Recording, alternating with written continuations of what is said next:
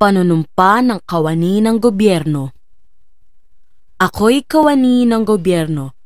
Tungkulin ko ang maglingkod ng tapat at mahusay. Dahil dito, ako'y papasok ng maaga at magtatrabaho ng lampas sa takdang oras kung kinakailangan. Magsisilbi ako ng magalang at mabilis sa lahat ng nangangailangan. Pangangalagaan ko ang mga gamit at kasangkapan at iba pang pag-aari ng pamahalaan. Magiging pantay at makatarungan ang pakikitungo ko sa mga lumalapit sa aming tanggapan. Magsasalita ako laban sa katiwalian at pagsasamantala. Hindi ko gagamitin ang aking panunungkulan sa sarili kong kapakanan.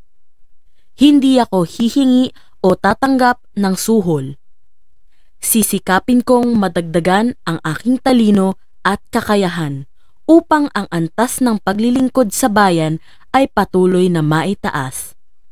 Sapagkat ako'y kawani ng gobyerno at tungkulin ko ang maglingkod ng tapat at mahusay sa bayan ko at sa panahong ito.